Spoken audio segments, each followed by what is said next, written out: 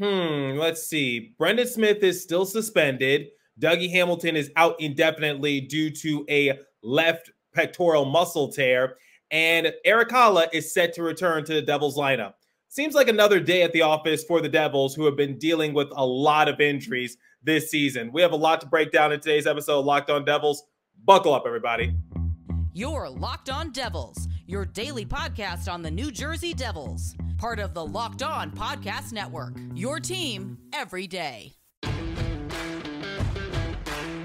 Hi, this is Bryce Salvador, and you're Locked On Devils with Trey Matthews. scores! Oh, Steven stepped up, nailed him. Brodeur's got the puck. What a shot. The Devils win the Stanley Cup. Alrighty now, what is up, New Jersey? Welcome back to the Locked On Devils podcast here on Locked On Network. I'm your host, college hockey play play announcer, Devils Drive for Pucks and Pitchforks, and also part-time credential Mia member Trey Matthews. Okay, so it's been clear that the New Jersey Devils have been hit with the injury bug early on in the season. And unfortunately, it striked once again because I think we all saw the news over the weekend.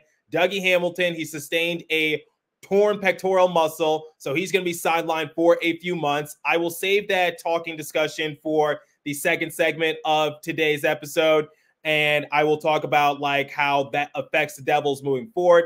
And I also want to bring into the light of Hamilton's impact because I think a lot of people, myself included, give Hamilton a lot of slack defensively, but he's been having a positive impact for Devils in some other key categories. And then to round off today's show, I will end it on a more positive note because Erik Haula is set to return to the Devils lineup real soon. And we all know how useful Haula can be. He's a great depth piece for the Devils. He could definitely be a big spark for the Devils as bottom six. But before we talk about the injuries, the good and bad of it, let's talk about something a little controversial, and that is Brendan Smith. When this episode goes live, the Devils later on tonight are slated to play against the Vancouver Canucks, and all the attention is going to be shifted over towards the Hughes brothers. So Jack, Luke, and Quinn sharing the same sheet of ice Quinn has been having a phenomenal year with the Canucks. He's one of the reasons why Vancouver is one of the top two teams in the Pacific Division. We all know what Luke is doing as a rookie. Jack is trying to get his name back into the running for the Hart Trophy,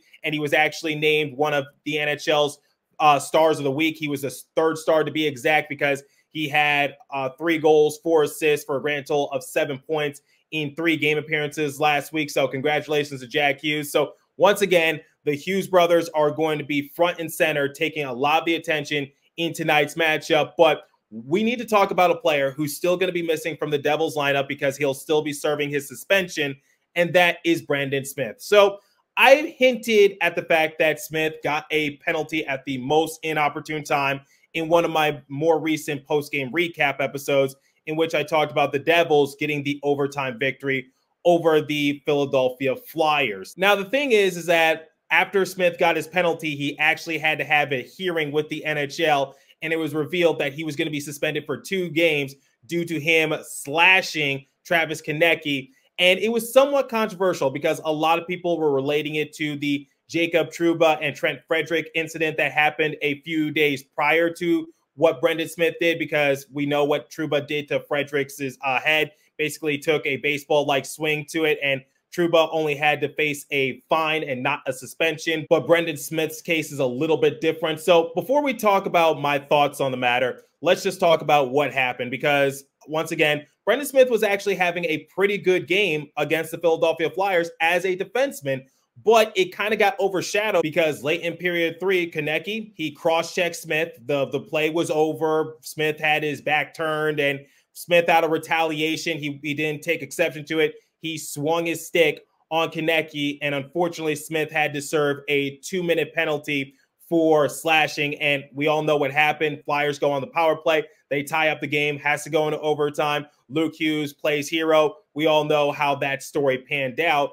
but there was more to the original story in which Smith slashed Konecny. Now, here was the official assessment. Konecny, he did antagonize Smith a little bit. He was the instigator because he cross checked Smith when it wasn't really necessary because once again there was no play it was the play was over both teams were heading towards their respective benches and Konecny just baited Smith essentially so Konecny he was fined by league $5,000 which was the max fine. But as for Smith, after his hearing concluded, the official assessment was two game suspension, and he was also going to lose $11.4 thousand as a result of missing those two games. Now, here's my thought on the matter. Yes, Smith did in fact slash Konecny. There's no ands, ifs, or buts about it. There's no way to work your way around it because the fact of the matter is that Smith was in control of his actions. It wasn't like he was tangled up with Konecny and unfortunately he inadvertently used his stick to hit Konecny. That's not what happened. He was completely aware. He was completely cognizant of what he was doing. But I do take exception to the fact that Konecny did sort of bait Smith a little bit. He did antagonize him. He instigated it. So you can't really hit someone and not expect to get hit back. You can't antagonize someone and not expect some sort of repercussion from that person. It's not just in hockey, it's in life in general. So if if you're the instigator and as a result you get hit back, you can't be playing victim. So I kind of take exception to that, but obviously the league has their rules and regulations.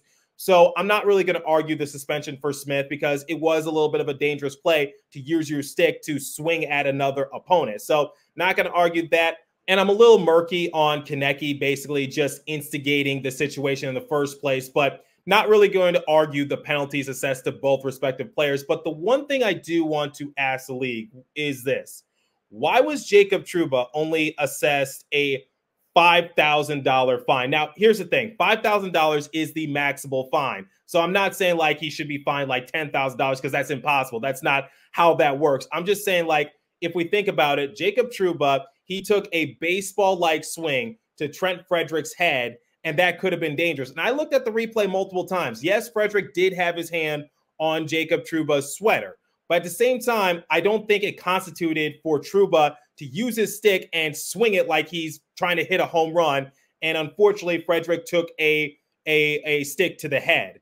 So Trouba is making $8 million this year, and he's only fined $5,000. The point I'm trying to make is that I'm not I'm not going to argue the money situation. I'm just saying like Trouba should also be suspended for his action because his action was also very dangerous and it could have been costly towards Frederic. So I think Trouba actually did admit that he, he has to be a little better about controlling himself because Trouba does have a history of sometimes losing his temper and losing his cool and maybe doing some dirty plays. But no, a five thousand dollar penalty is is a slap on the wrist for someone like Trouba, who's being paid uh, annually eight million dollars this year. So basically, the point I'm just trying to make is that why is someone like Brendan Smith suspended for two games for his slashing, but yet you get someone like Jacob Trouba and he just gets a slap on the wrist. And I'll use another example. Connor Clifton literally concussed Nico due to his cross check on Hischier's head.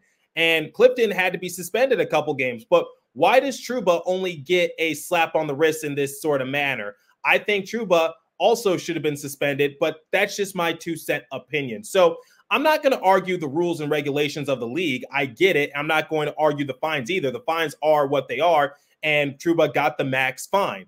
But the thing is, is like Trouba should be suspended just to be taught a lesson as to how dangerous that could have been. So I talked about it in my previous episode against the Flyers, where the referees failed to call an automatic icing, and as a result, Luke Hughes almost got seriously hurt by Garnet Hathaway. So I talk about protecting the players. You need to protect the players in that case. I feel like there's sometimes a double standard here. So that's my opinion, and that's how I'm going to close out today's segment. So once again, it sucks that Smith got suspended, but unfortunately, the rules are the rules, and Smith did cross the line. Hockey is a contact sport. I know human instinct probably kicked in, but you got to be a little better about controlling your actions. So let me know what you guys think about the manner. What what did you think about the suspension assessed to Smith? And what did you think about the Trouba hit in general? I'm curious to hear your guys' thoughts. But yeah, I just want to leave it there and just say, like, look, I'm all for protecting the players. I'm all for uh, basically having these rules to make sure that everyone plays the, the game safely. But at the same time, you can't just be like pick and choose when to give someone a harsher penalty when they obviously also cross the line. So we'll leave it there. And before we transition into the next segment, let me tell you guys about Indeed. So, Indeed is a hiring platform where you can attract, interview, and hire all in one place. Don't spend hours on multiple job sites looking for candidates with the right skills when you could do all that with Indeed. Find top talent with Indeed's suite of powerful hiring tools like Indeed Instant Match, assessments, and virtual interviews. So, once again, if you are a small business or whatever the case might be, you definitely need Indeed. Indeed knows where you're growing your own business. You have to make every dollar count. That's why with Indeed, you only pay for quality applicants that meet your job must requirements. So you guys know what to do. Visit indeed.com slash locked on to start hiring now. Just go to indeed.com slash locked on, indeed.com slash locked on. Terms and conditions apply. Cost per application pricing now available for everyone. Need to hire? You need Indeed. Okay, so let's talk about Dougie Hamilton, who's been a big talking point the last few weeks on my show specifically, because I remember after the Columbus Blue Jackets game, I brought up the, the question should Dougie Hamilton be a scratch? And I said, nope, I don't think that's a smart idea for Devils. I don't think they're a better team without his services. But unfortunately, looks like they're going to be without his services for a long period of time because as we all know, in the game against the New York Islanders, Hamilton did not suit up in period three. Lindy Ruff revealed that Hamilton was dealing with an upper body injury, and unfortunately, he just couldn't continue. So we were waiting for what the official assessment was going to be, and it was later revealed that Hamilton sustained a torn pectoral muscle, and he actually had to have surgery to repair it. So, to give you an idea as to how long the recovery process for something like that takes, I'm no doctor, but based on the research I did, considering the fact that he needed surgery for it, I'm going to guess that it's a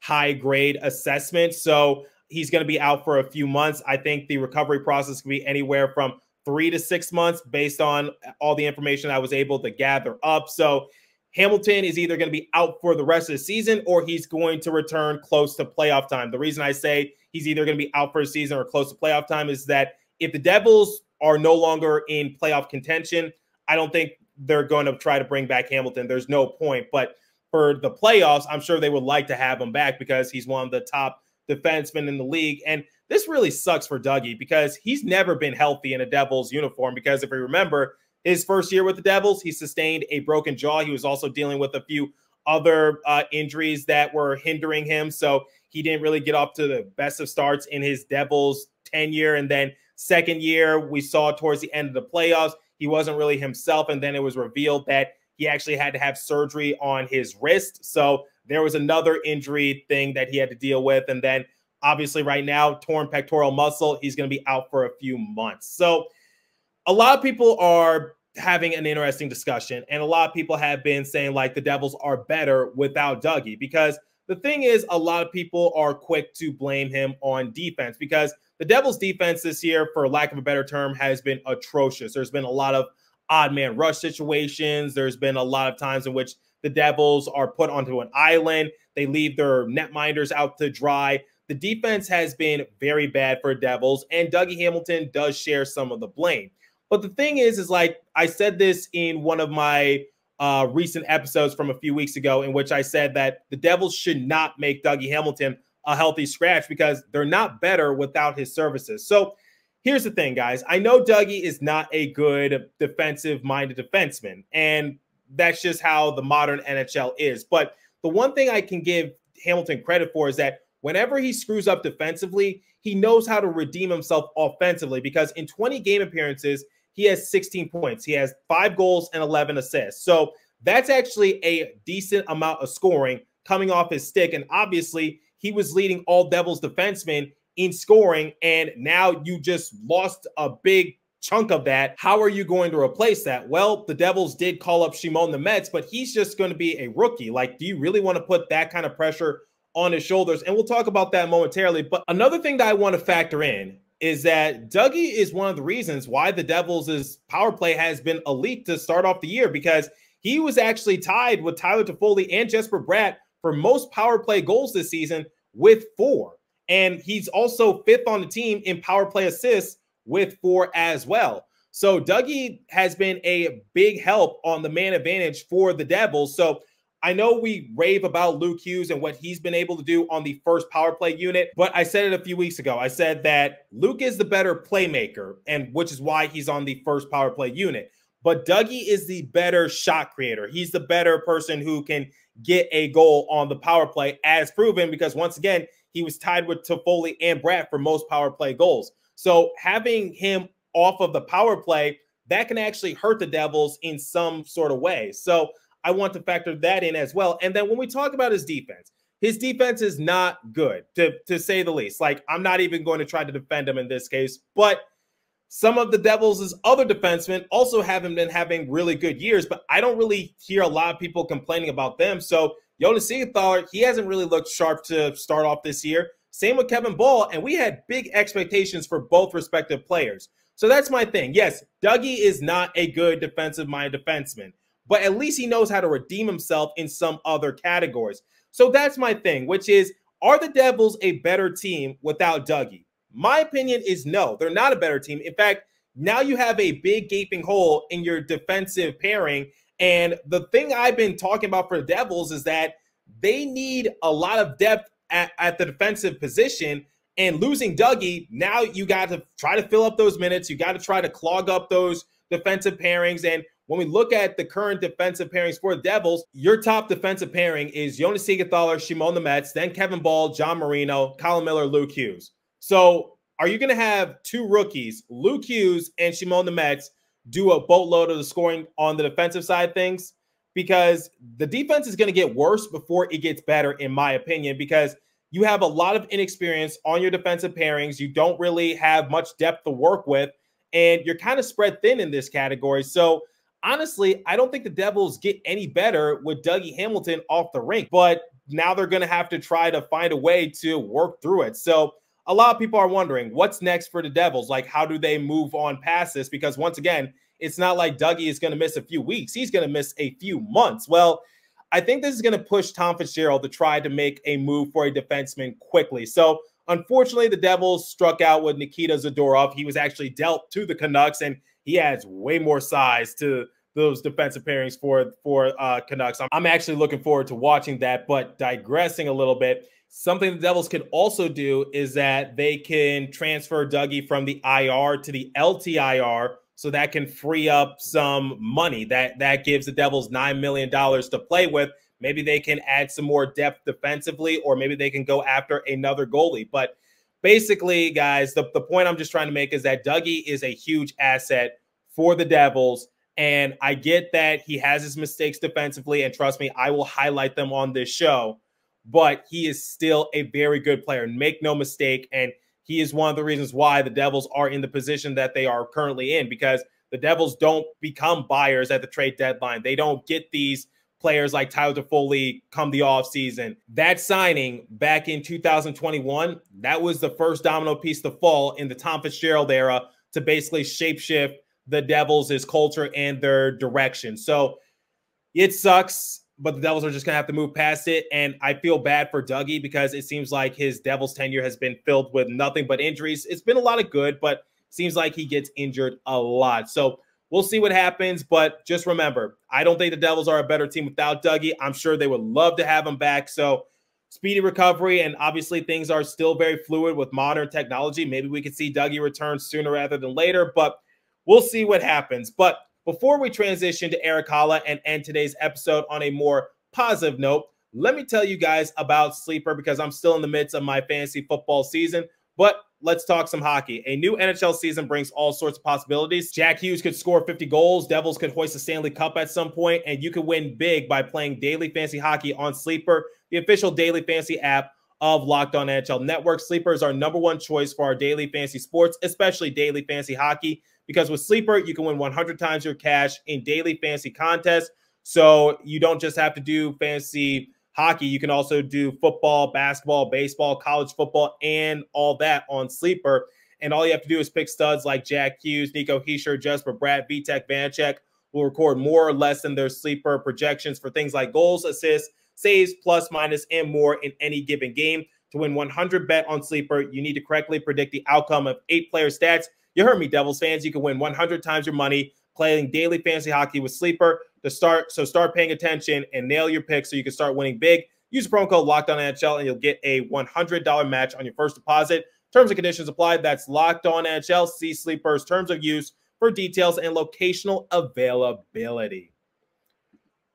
Okay, so to close out today's show, let's talk about the possibility of Erik Haula returning to the Devils lineup because it was revealed that he was practicing with the Devils in Vancouver, and he anticipates to play during this four game road trip for New Jersey. So Amanda Stein put out on the X app and said that Haula was quoted to say, I feel good. I feel ready. Lindy Ruff followed up by that and, and was quoted to say, an encouraging opportunity to play tomorrow or today when this episode goes live. But anyway, it would be great to have Erik Haula back into the lineup because I think it's clear that the Devils have been missing a lot of depth pieces, and getting Haula back into the lineup can definitely uh, help them in more ways than one.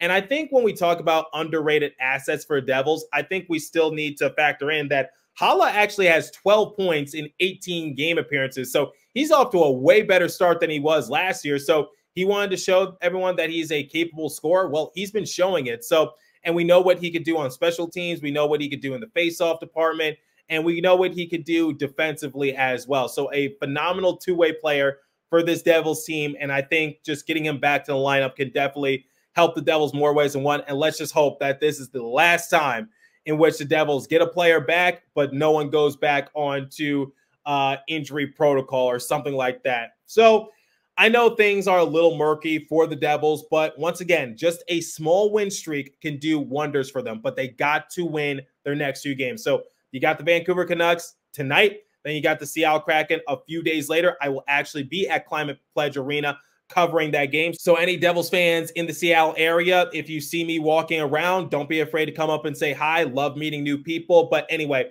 these next few games are going to make or break the Devils, in my opinion, because now is the time to try to turn your season around, get back into the win column more consistently, rack up the points. They've been doing so. Obviously, they suffered a bit of a big loss to the San Jose Sharks, losing six to three. That cannot happen. You let the Sharks run all over you. It was a trap game. So the Devils got to be a little bit more careful. And I think that was the first road win of the season for the Sharks as well. So not really all that good. But yeah, so for for New Jersey, if they really want to turn their season around, they've got to continue to do what they've been doing, which is just winning more consistently. But you got to win those games that you're supposed to win. So that Blue Jackets game and that Sharks game, hopefully the Devils don't toss and turn come the season end. So let me know what you guys think. I'm curious to hear your guys' thoughts on the Brendan Smith suspension, Dougie Hamilton's injury, and what are you hoping from Erik Haula? Do you think he can definitely be a big help for the Devils on the bottom six? Because once again, he's a very underrated goal scorer, and I don't think enough people are talking about